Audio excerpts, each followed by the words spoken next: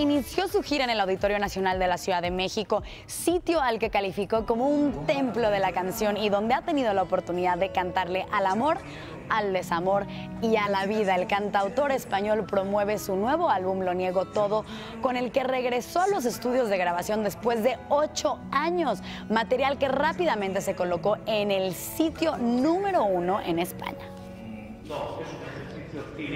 Imagen Noticias con Paco Sea, lunes a viernes 5.50 AM. Participa en Imagen Televisión.